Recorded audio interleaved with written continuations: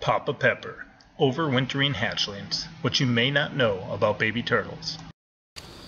Alright guys, Papa Pepper here once again, and today I wanted to share with you a little something about tiny turtles like this. Now this is a baby red-eared slider, and we just found it down by the pond, and it is tiny. I'm not sure how close it'll let me get. Look at that thing.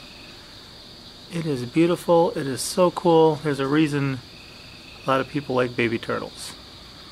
So very cool, very cute little turtle. I'm going to share with you something you may not have known about these guys.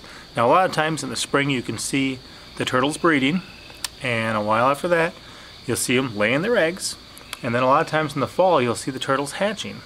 Um, sometimes late summer, early fall commonly would be when we would find them doing it.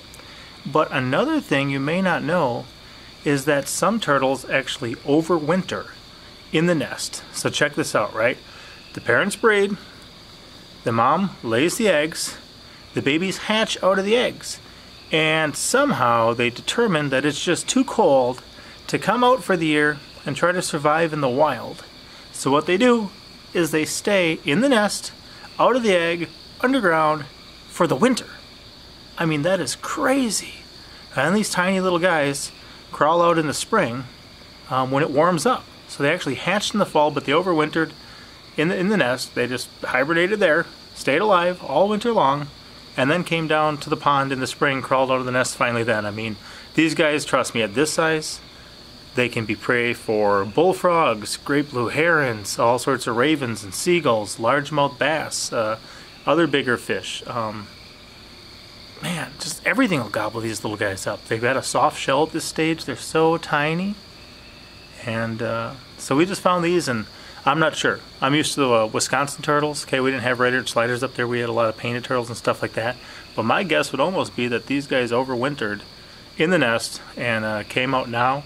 But uh, we'll see. Either way, tiny, cute little baby red-eared sliders. Awesome to see. Great. Uh, I think this one actually one of my children caught. I found it, just said, hey kids, come here and grab this, that type of thing. So beautiful, but I don't know.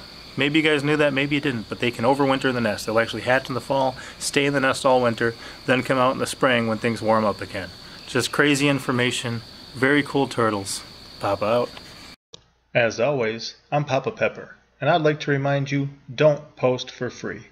If you'd like to be part of a revolution in social media, an economic power to the people, where users can actually blog for cryptocurrency, then I'd recommend that you check out steemit.com and join the revolution. Pop out.